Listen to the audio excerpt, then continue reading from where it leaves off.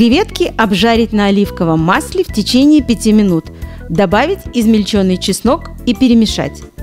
Помидоры нарезать кружками и выложить на блюдо. Далее выложить листья салата, авокадо нарезать кубиками и полить соком половины лимона.